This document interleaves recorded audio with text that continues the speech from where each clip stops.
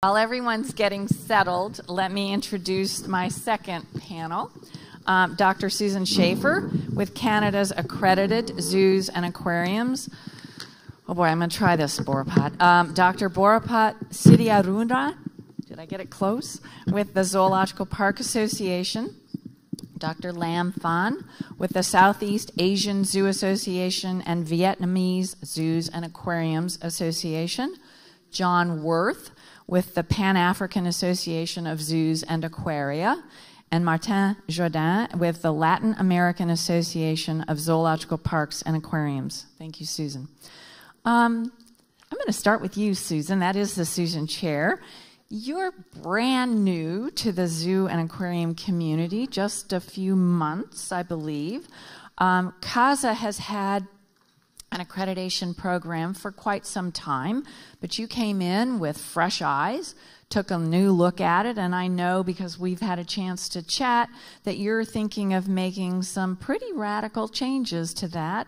And I'd like I'd love you to tell us where your process is going and what you're thinking about and what you're doing. Thank you very much. I, uh, my background has been in human healthcare.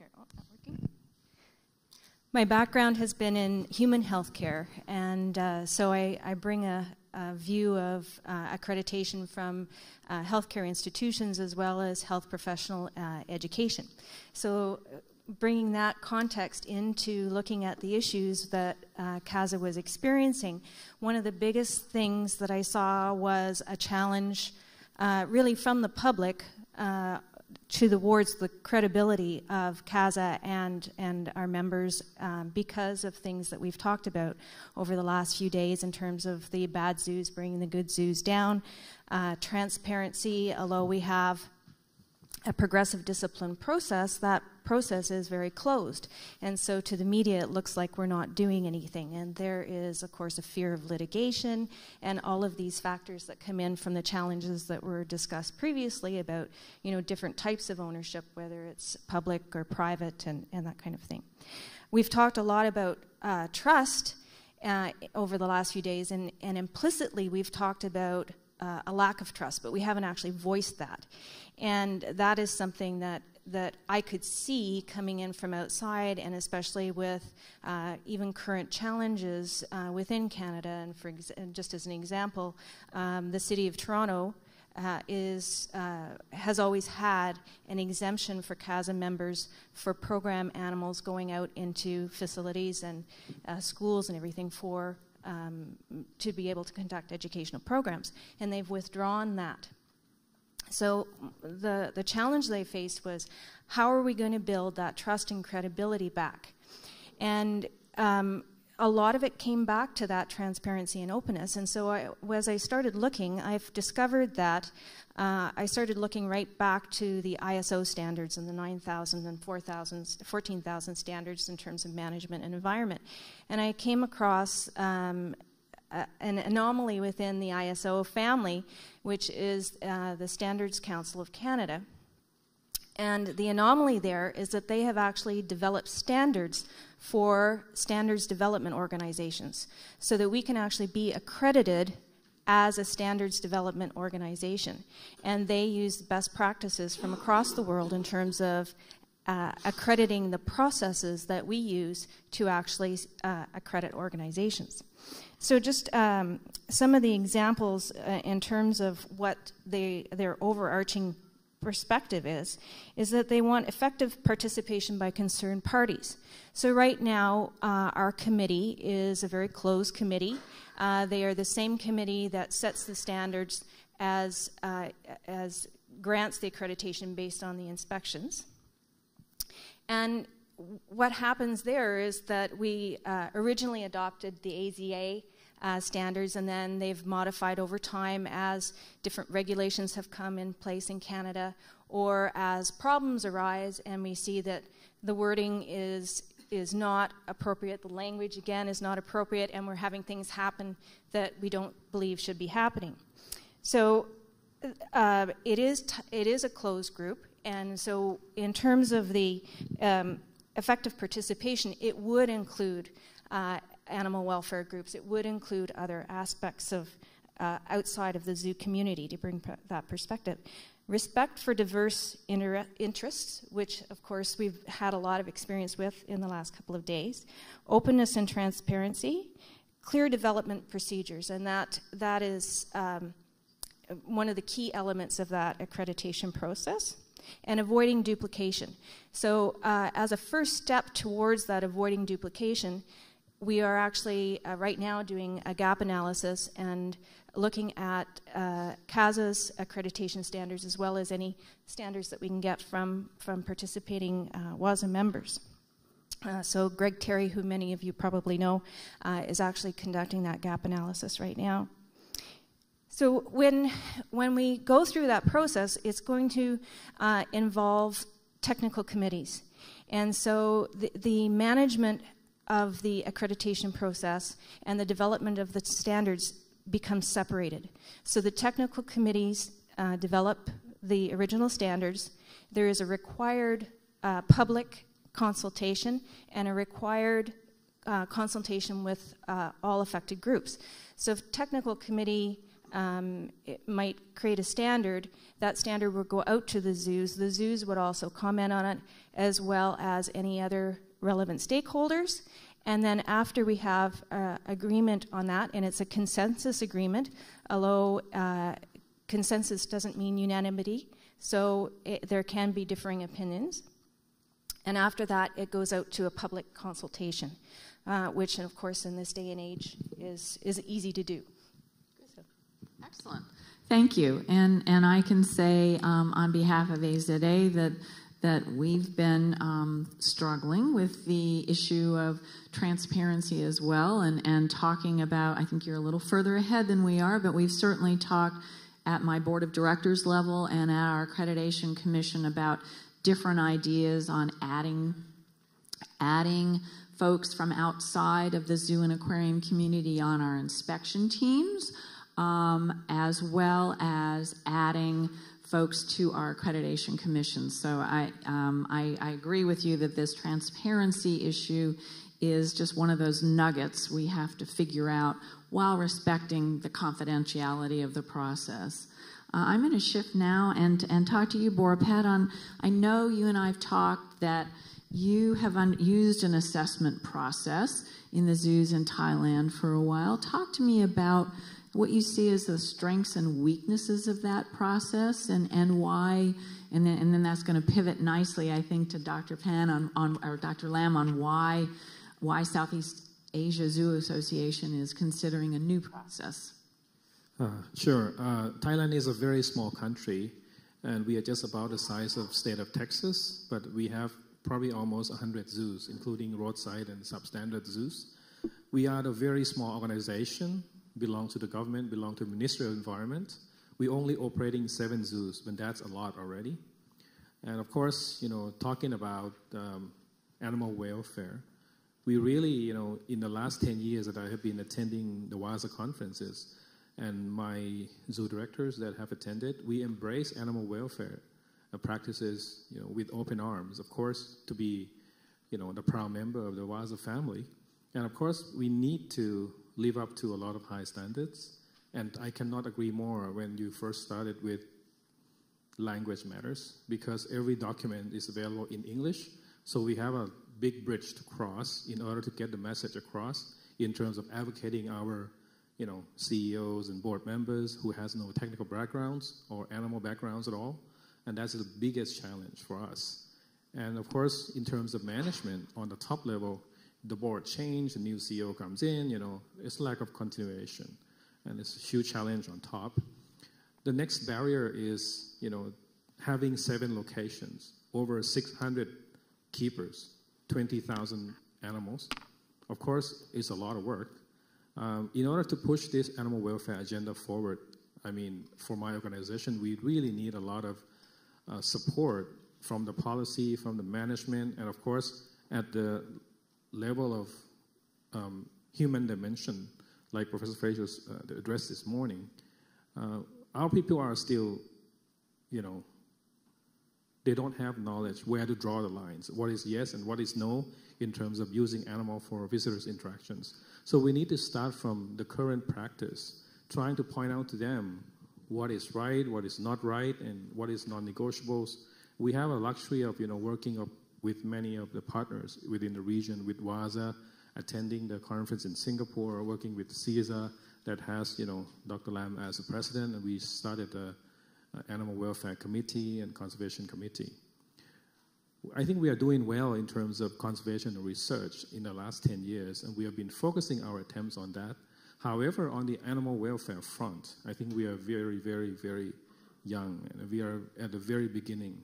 You know, we've been hearing a lot of great stuff about, you know, how great like the Detroit uh, Ron's team is doing, and of course, you know, learning from our regional zoo association like ZA or uh, or AZA or at the WAZA when we have a chance.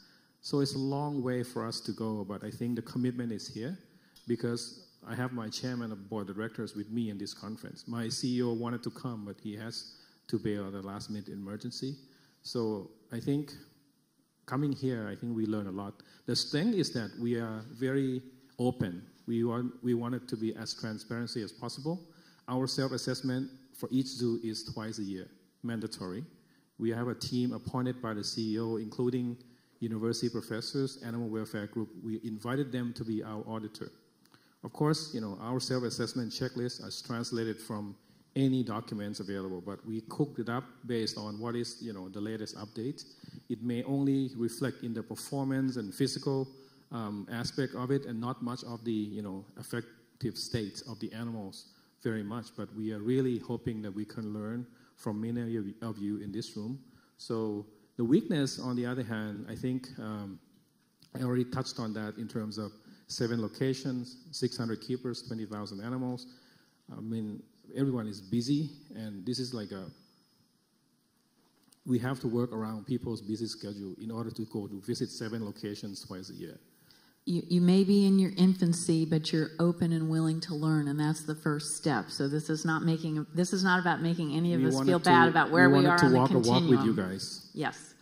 Dr. Lam, SEAZA is in the process of updating your assessment tool. Would you please uh, share with us the process you're going through and how you believe that is going to benefit animal welfare in SEAZA institutions?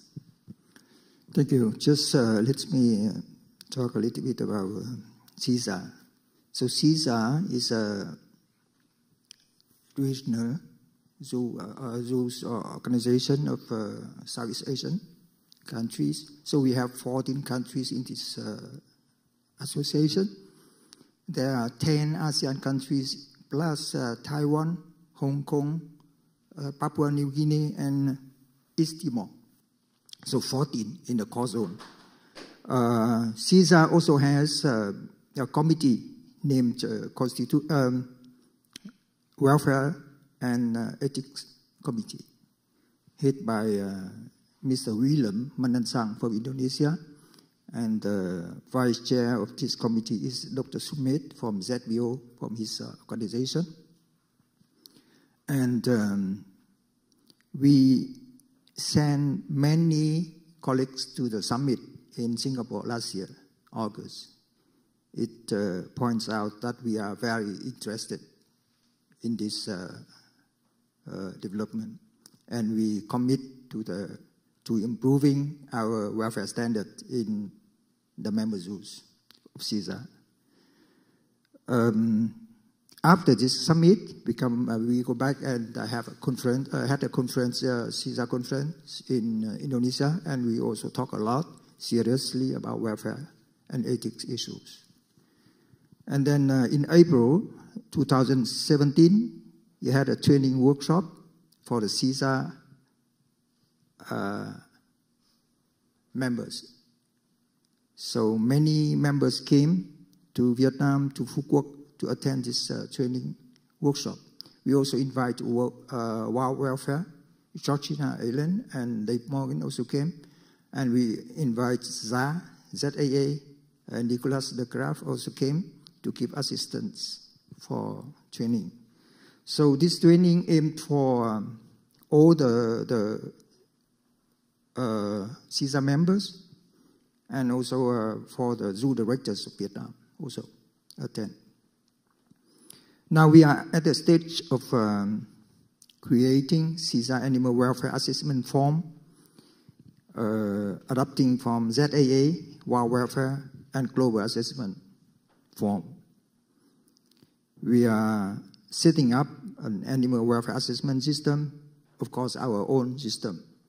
But we learn a lot from other regional associations, such as uh, AZA, ZAA, and other associations. Uh, we also um, assigned the committee to focus on the two matters in the near future. The one is uh, minimum standards for all uh, member zoos. And uh, the second one is annual interactions. So we also have to consider adapting from other associations. For example, in, Mas- in MAZPA, in Malaysia, they already have uh, minimum standards for enclosure sizes. So we uh, maybe we take from them, and also New Zealand. Nicholas de Graaf also told me that uh, New Zealand also has a system like that, and uh, at the in the break, uh, break, breakfast morning, the day after the, uh, before yesterday, so we talked with the AZA, AZA also has the, system. Maybe we, we learn from them and we adapt uh, uh, and modify some uh, numbers for SEAZA, for using in SEAZA. Once we set up the minimum standard, each uh, member country can take it and adapt and uh, build their own standards for, the, uh, for, for, for their country. the, dif- the difficulties in our region is uh, are the cultural differences in 14 countries. And also, also our, our traditions are different from Europe or America or Australia that we have to overcome. But uh, uh, in other words, welfare is something very new. Even the word accreditation for us is new. So we, we agree to use assessment and, and certification, right? In Singapore, we don't use accreditation because uh, we translate in, in, in, in our language, we cannot understand. So our, our people cannot understand. Even Indonesia, Malaysia, Thailand, Singapore, they use English, but uh, like Philippines uh, and other countries, they don't understand the, the word accreditation. That's why we use assessment and uh, certification. But we commit to improving welfare standards in our uh, SEAZA zoos. That Excellent. is important.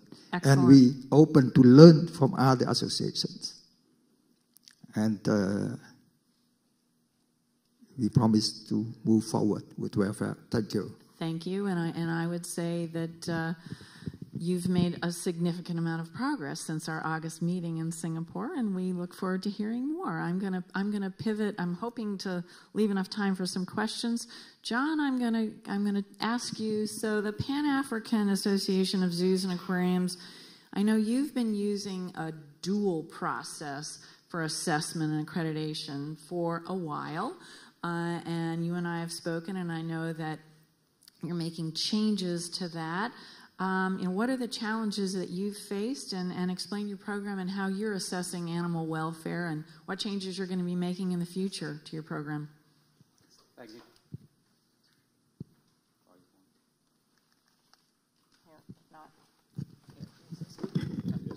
Thank you.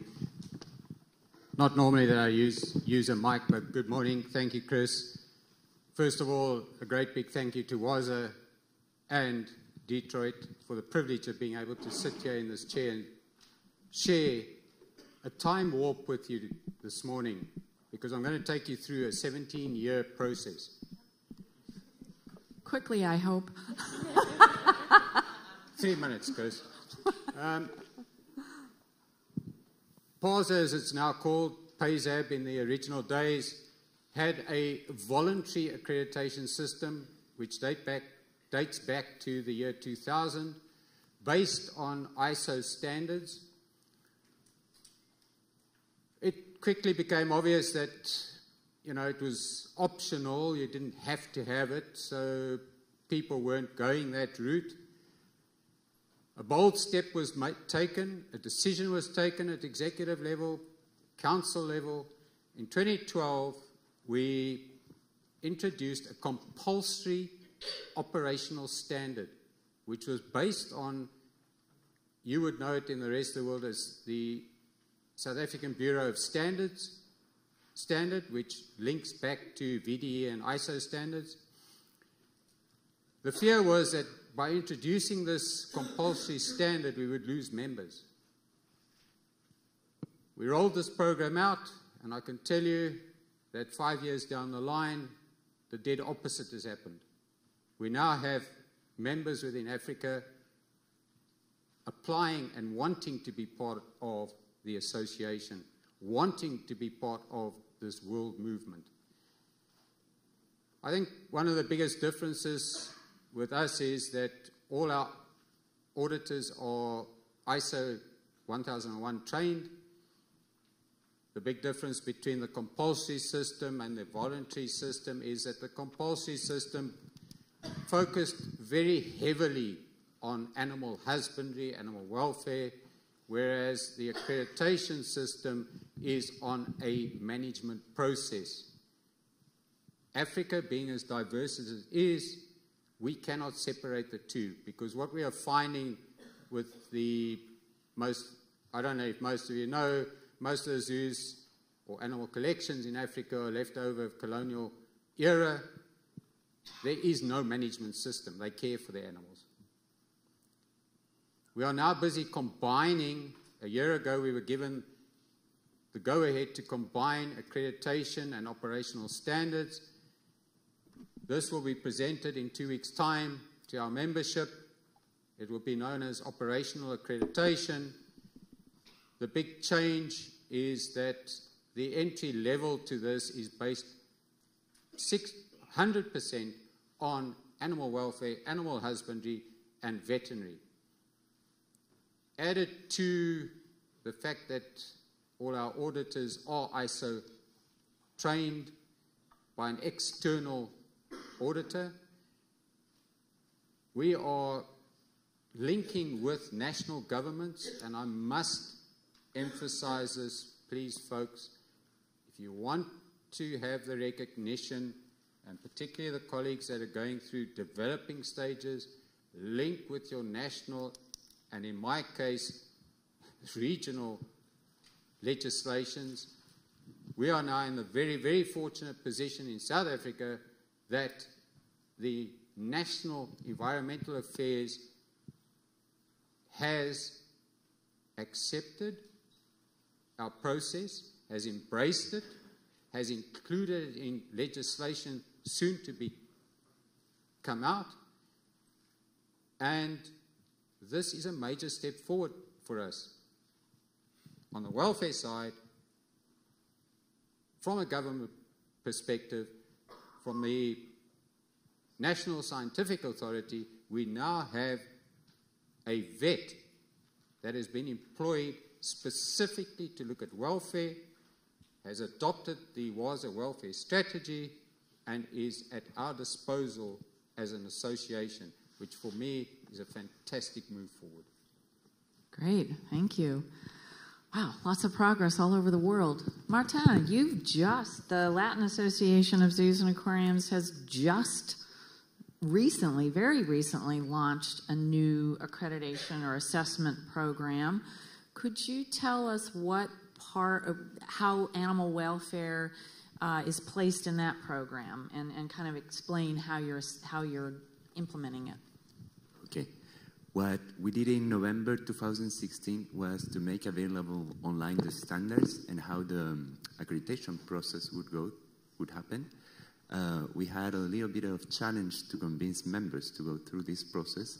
We haven't done yet the first inspections. This will ha be happening in October this year. So um, the program focused heavily on safety. Um, even before we can speak about animal welfare, at some of our member facilities, there are quite a few aspects to deal regarding safety. But when we talk about animal welfare, uh, it is focused mostly on some policies and protocols regarding nutrition, animal health, and the way that we provide some opportunities and options for the animals to have control over their environment. Yeah. Um, what is a bit challenging for us, outside community has 42 members in 13 different countries.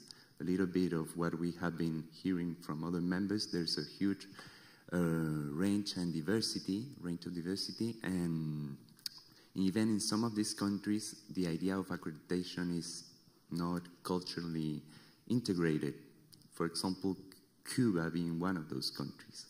So I think we still have quite a challenges and for me is to think how we make some of these countries or members to share the values of accreditations of animal welfare. Um, I'm not sure that it will work just to put pressure on them to accept these ideas.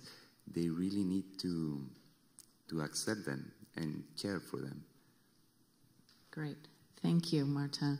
Susan, um, so you, John talked a little bit about training program, and then the other programs are, are in their nascent stages. What, what kind of training does CAZA offer for its accreditation inspectors? Right now, it's, it's uh, I think one of the, the challenges that we have is, is having a standard um, that we can train all of our, our volunteer inspectors on at the same time. So it's something that we are actually working on right now. Uh, each um, group that is going in to do it, an inspection has a meeting where they try to standardize their approach. Um, many of them have been doing inspections for a very long time.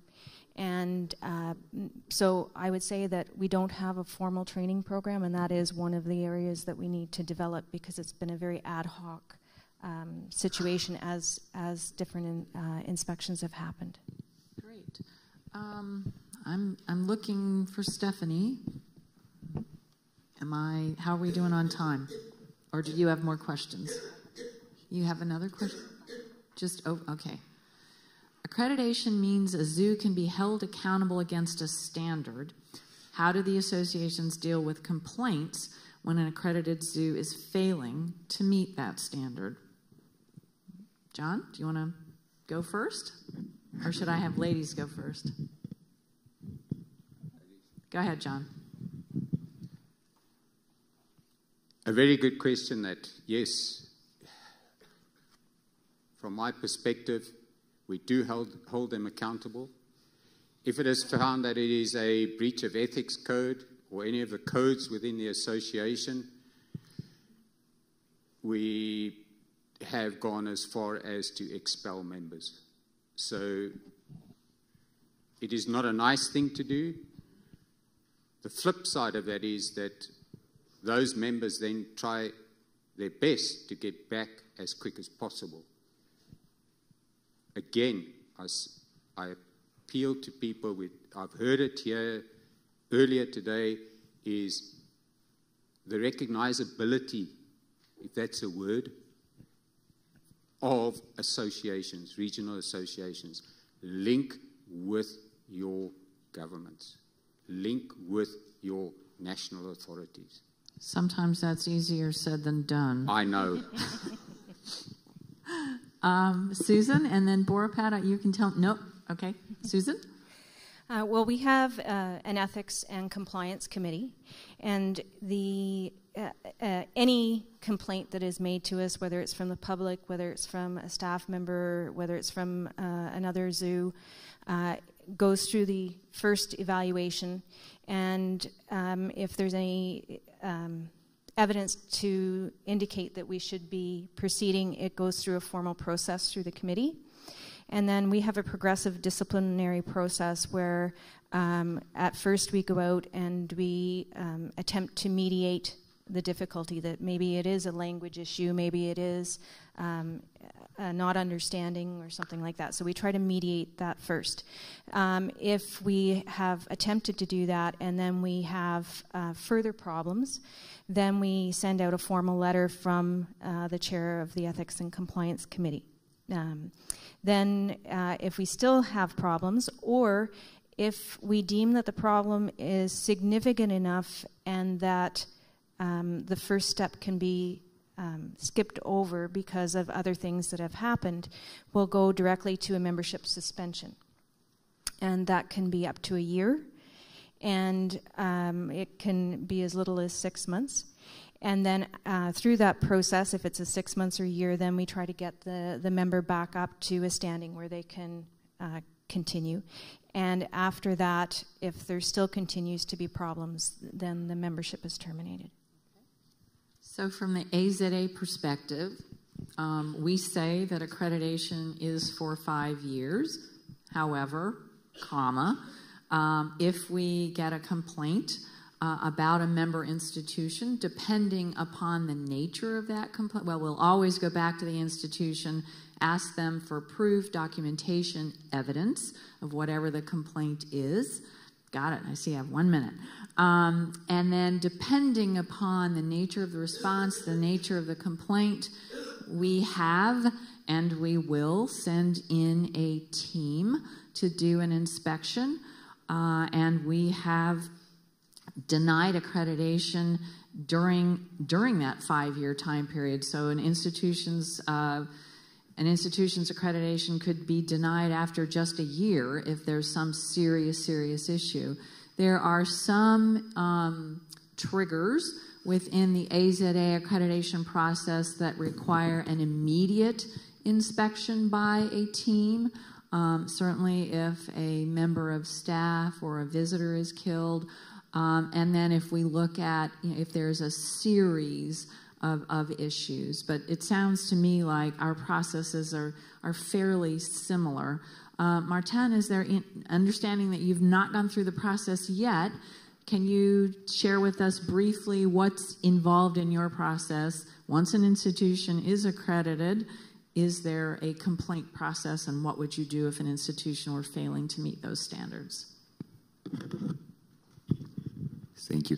Um, even though we don't have the accreditation program yet implemented in the sense that no facilities has been accredited, we have had complaints.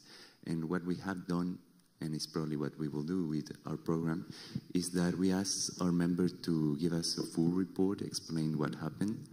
Um, usually this report will go to our board. Our board will have some questions. Um, depending on what the issue is, um, there will be a decision of whether they keep being members or not. If it is something that um, can be improved, we will ask, what will you do to avoid having this situation again? And we will ask evidence of the implementation of those measures. So this is likely the same that will happen with our accreditation program. Great. All right, will you all please help me thank my second group of panelists, Susan Boripat, Dr. Lam, John, and Martin. Enjoy your lunches, and I believe we're back here at 1.15, but check your program. Don't count on me.